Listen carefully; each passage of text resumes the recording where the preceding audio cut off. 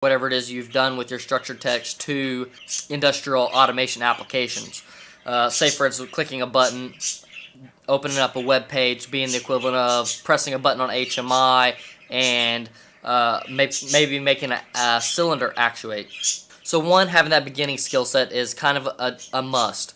Uh, there, there is a slight caveat to that, and this is kind of the most valuable thing that you can add to really any company that's not just a systems integrator, but being a dedicated employee. That to me, that that is the biggest trait somebody can have is being a dedicated employee. And what I mean by being a dedicated employee, I mean to make the company feel that you're going to be by their side. Whoever whoever the lead person is of that company, whoever it is that's going to be doing the hiring, um, whoever the owner is, making those people feel like you're going to be there. You're never, you're not going to go nowhere. It's going to be years before you leave. Uh, they can put, you know, their efforts into training you and getting you up to speed and feeling like you're still going to be there.